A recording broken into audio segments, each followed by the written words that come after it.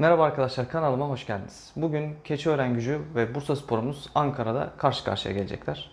Koronavirüsten dolayı biz artık maçlara gidemeyeceğiz ve artık ben de e, deplasmandaki ve Bursa'daki maçlarla ilgili maç öncesi e, yorumlar yapacağım. Sizler de bu videonun altına yorumlarınızı gene paylaşırsanız sevinirim. Ben de sizlere gene cevap vermeye çalışacağım. İlk önce Bursa Spor'un durumunu konuşalım isterseniz. Bursa Spor bildiğiniz gibi son 5 maçında 4 beraberlik bir galibiyet almıştı ve 5 maçında 7 puan toplayabilmişti arkadaşlar ki biz de bu durumdan biraz şikayetçiydik açıkçası. Yaklaşık 90-100 gündür e, futbolcular topa vurmadı.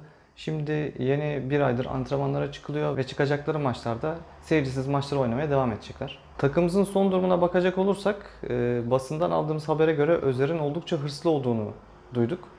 E, Yine sakatlığı geçen Serdar Özkan da e, takımdaki yerini alacaktır diye ümit ediyorum İbrahim Hoca yer verirse.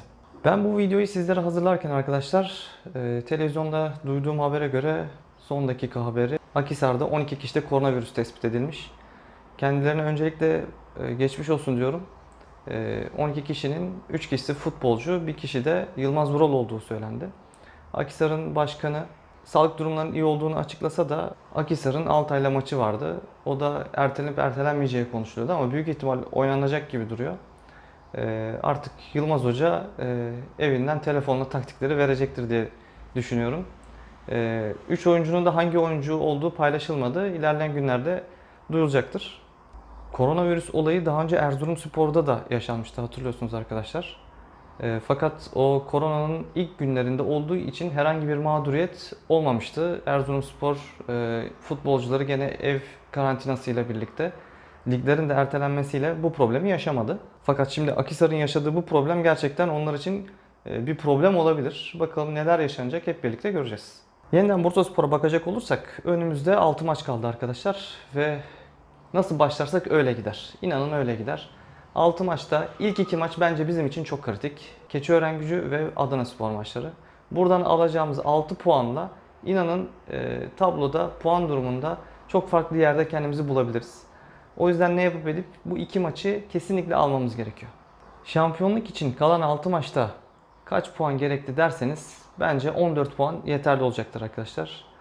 4 galibiyet, 2 beraberlik bizi ilk ikiye sokacaktır diye düşünüyorum. Puan durumuna bakacak olursak Hatay Spor maç fazlasıyla dün biliyorsunuz 2-2 berabere kalmıştı. 54 puanla zirvede yer alıyor ve Süper Lig'e çıkacak en kuvvetli adaylardan birisi Hatay Spor.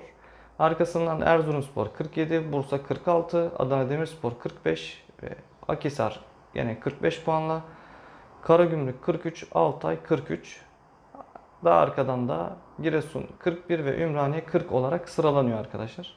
Bursaspor'un fikstürüne baktığımızda kalan 6 maçında Keçiören, Adana, Giresun, Altınordu, Menemen ve son maç Hatay deplasmanı olarak gözüküyor. Bursaspor'un bu kalan maçlarında en zor maç hangisi diye bakacak olursanız bence Giresunspor deplasmanı oldukça zor geçecek. Çünkü Giresunspor'un da playoff'u zorlayacak bir mücadelesi var arkadaşlar. Gene son hafta oynayacağımız Hatay maçı da Hatay Spor'un lider olmasıyla birlikte bize avantaj olarak gözükse de son haftaya gelindiğindeki puan durumu neler gösterecek bize bilmediğimiz için yani çok da avantajı olur diyemiyorum. Fakat kalan rakipler genelde orta sıra ve alt sıradaki takımlar olduğu için e, gelecek adına biraz daha Bursaspor adına umutluyuz. Dediğim gibi korona arasından önce Bursaspor 5 maçın 4'ünde berabere kalmıştı arkadaşlar ve bir galibiyet almıştı. Yani bu ara umuyorum ki Bursaspor'a iyi gelecek ve üzerindeki ölü toprağını atacak bir fırsat olarak bunu göreceklerdir. Covid-19 çıktıktan sonra bir anket yapmıştım YouTube kanalımda. Sizce Covid-19 sonrası yaşanan bu durumdan Bursaspor avantaj elde edecek mi diye sormuştum. YouTube'da yaptığım bu ankete 30 kişi katıldı arkadaşlar ve %57'si diğer takımlar bizden formdaydı, bize avantaj sağlar diye düşünmüş. %23'ü motivasyon ve kondisyon kaybı bütün takımlar için geçerli, bir şey değişmez demiş. %20'si ise takımın yaş ortalaması yüksek, form olarak olumsuz etkileniriz diyerek e, oylamaya katılmış. Siz de isterseniz YouTube'da düzenlediğim bu ankete katılabilirsiniz veya düşüncelerinizi yorumlar kısmına paylaşabilirsiniz. Hatırlayacaksınız ve linkini de yukarıdan paylaşacağım. Ee, koronavirüs arası gelmeden önce son maçımızı Bolu Spor'la burada e, taraftarsız şekilde karşılaşmıştık. Ve Selçuk Şahin'in golüyle 1-0 öne geçmemize rağmen Defansta yaptığımız Anıl Karayer'in yaptığı hatayla birlikte golü kalemizde görmüştük.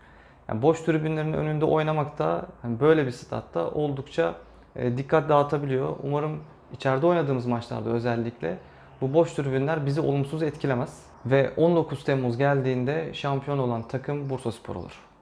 Rakiplerimizin durumuna bakacak olursak kuşkusuz en avantajlı takım Hatayspor. 54 puan ve kalan 5 maçla zirvenin en büyük favorisi. Ee, kalan 5 maçın 3 maçını kazandığı takdirde bence Hatayspor Süper Lig'e ilk merhaba diyecek takım olacaktır.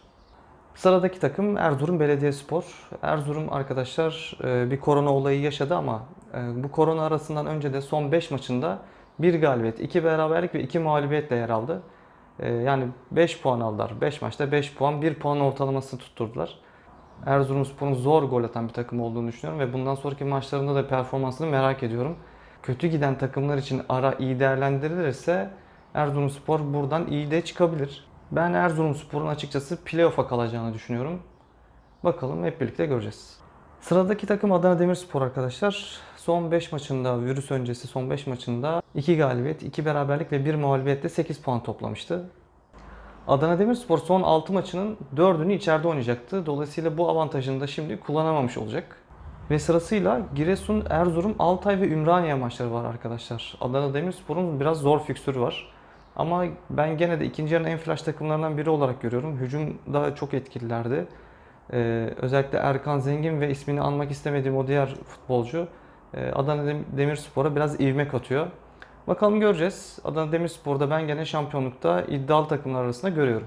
Sıradaki inceleyeceğimiz takım Akisar arkadaşlar. Akisar korona öncesi son 5 maçın 4'ünü kazanıp birinde berabere kalmıştı. 13 puan toplamıştı. Kuşkusuz bu ara en çok onları olumsuz etkileyecektir. Çünkü formda giden bir takım vardı. Üstüne korona gelince Yılmaz hocasız bakalım Akisar neler yapacak hep birlikte izleyeceğiz.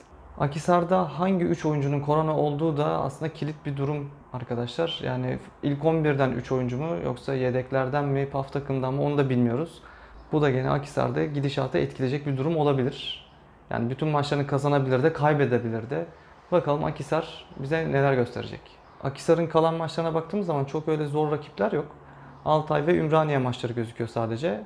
Bir de altlardan Bolu Spor'la belki oynadığında zorlanabilir. Ama geri kalan maçlarını kazanacak güçte. Bakalım göreceğiz. Akisar'a başarılar. İlk ikiye girmek için Adana Demirspor'dan sonra en büyük rakibimizin Akisar olduğunu düşünüyorum. Sonraki takım Karagümrük arkadaşlar. Karagümrük Ömer Erdoğan'la iyi bir ivme yakalamıştı ikinci yarıda ve son 5 maçında 2 galibiyet, 3 beraberlikle 9 puan toplayarak kendini playoff potasının içerisine atmıştı. Karagümrük bu hafta Ümraniye deplasmanına gidecek. Bir İstanbul derbisi yaşayacaklar. Ben Ömer Erdoğan'la da Bursa Spor'dan bildiğim için e, bu korona arasında takımı çok çalıştırmıştır diye düşünüyorum ve en iyi değerlendiren takımlardan biri olduğunu düşünüyorum. O yüzden gene Adana Demirspor ve Akisar'dan sonra en iddialı gördüğüm takım Ömer Erdoğan'lı Karagümrük.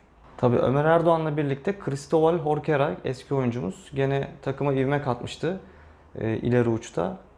E, bunun avantajını yaşıyordu Ömer Erdoğan ve oldukça iyi bir gidişatı vardı. Şimdi bakalım Ömer Erdoğanlı Karagümrük neler yapacak hep birlikte göreceğiz.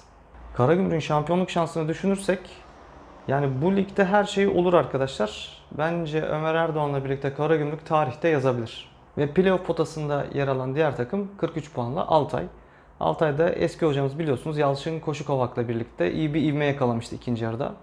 E, hücum ayakları da iyi Altay'ın.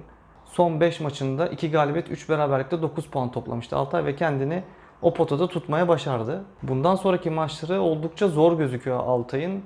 Yani Adana Demirspor, Erzurum ve Akisar'la oynayacaklar. Yalnız Altay'ı böyle görmemek lazım. Yalçın Hoca'nın taktikleriyle bu takımları devirerek bir anda kendini yukarıya atabilir de. Ama Altay'ın genelde playoff, playoff'a kaldığını görüyoruz ve burada da ben gene şansını playoff'tan yana kullanacaklardır. Playoff'ta da gene rakipleri oldukça zor olacak. Yani ben açıkçası Altay'ın bu sene Süper Lig'e çıkamayacağını düşünüyorum. Arkadaşlar yorumlarım bu kadardı. Ee, her hafta oluşan puan durumuna göre Bursa Spor'umuzun durumunu ve diğer rakiplerin durumunu sizler için yorumlayacağım. Siz de yorumlarınız varsa ve diğer takımlar hakkında ne düşünüyorsanız, kalan maçlarda ne kadar puan toplayacağımızı düşünüyorsanız yorumlar kısmında belirtebilirsiniz. Ben de bütün yorumlara cevap veriyorum. Ee, size de gene cevap veririm. Umarım koronasız ve sakatlıksız şekilde ligi sonlandırırız. Sonraki haftaya kadar hoşçakalın. Kanalıma abone olmayı unutmayın.